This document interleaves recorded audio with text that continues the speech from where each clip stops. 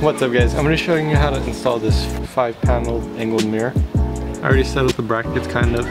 I already know that I'm to cut off half of this because I'm only be using one of the holes. I would be trying to keep the original sun visors in there. We're to set up the brackets real quick with the smaller screw going into the square side on top. Since the smaller screws have that squared, a washer in between.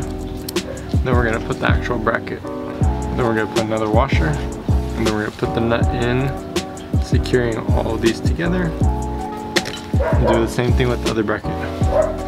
This knob and the nut goes inside the knot. And this bolt goes on this end over here, right here where the hole is. Okay, so we're gonna start off with taking the sun visors off first. Two screws, one on each, one on the left and one on the right. And this side just comes cut off.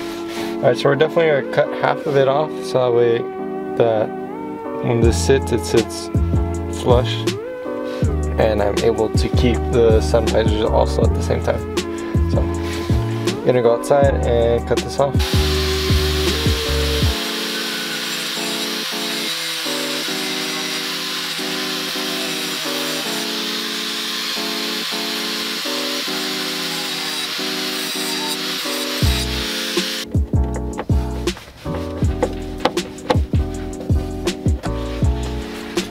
We're gonna chop a little bit of this off right here with the grinder.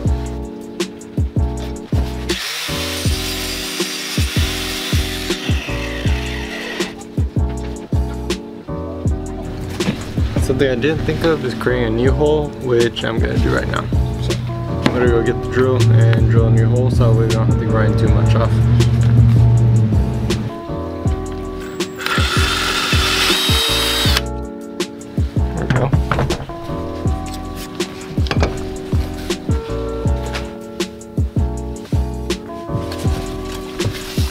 Alright, so the bracket and the sun visor should be trimmed perfectly.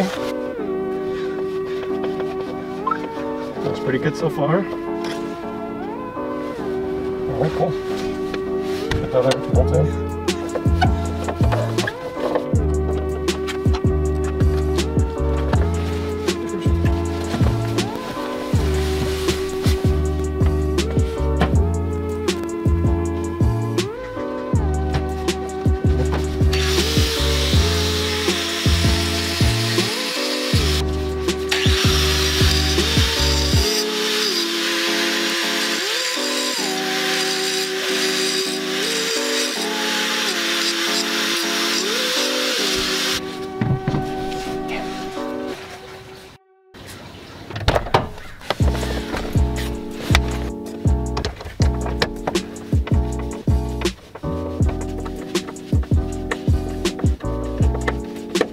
Alright, time to get the mirror.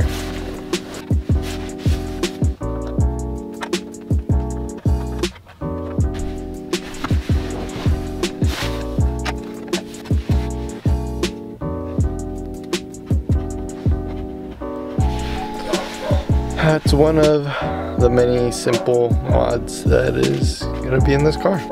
This is what it looks like when everything's fully tightened. As you can see, it's pretty sturdy. I don't think I'd have any other way.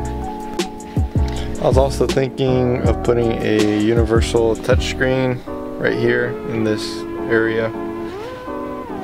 So that way I could have a Bluetooth and kind of like an the previous owner did remove basically the entire center console